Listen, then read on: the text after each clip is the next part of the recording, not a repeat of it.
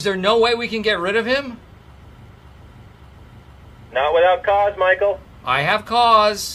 It is because I hate him.